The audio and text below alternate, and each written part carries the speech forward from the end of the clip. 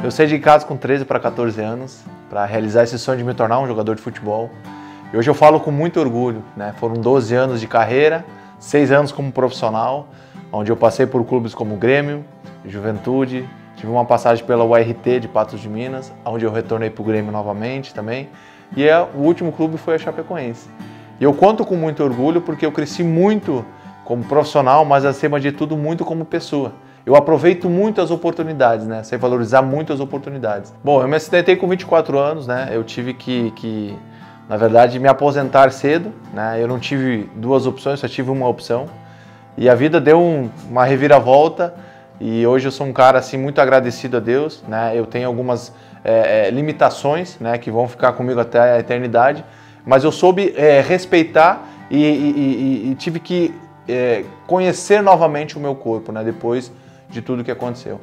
Então a vida deu um, uma reviravolta, onde hoje eu sou palestrante, eu sou cantor e, e sou uma pessoa muito grata, muito feliz, porque eu posso levar uma mensagem positiva para as pessoas, isso é o mais importante.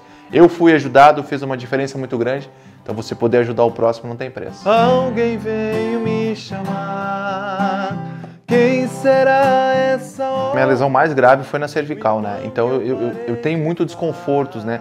Como eu viajo bastante, vai em hotéis, é, colchões diferentes, é, travesseiros diferentes, quando eu chego em casa e vou repousar, vou descansar, não tem preço, né? Eu fico contando as horas para chegar em casa, para eu poder deitar no meu colchão, porque é aqui que eu descanso, é aqui que eu relaxo e é aqui que some todas as minhas dores. E eu também não me vejo como ex-atleta. Então é, é, é, muito importante você poder dormir bem, você poder descansar, porque o teu principal instrumento de trabalho é o teu corpo, né? Então é muito importante você ter um, um colchão, uma cama de qualidade para você poder dormir, para você repousar, descansar, para no dia seguinte, né, você poder é, é, exercer melhor a sua função, né, e render melhor no teu trabalho. Dizer para você que quando você cansar, aprenda a parar para descansar e nunca para desistir. E entenda que a vida só é bonita para quem vê beleza nela.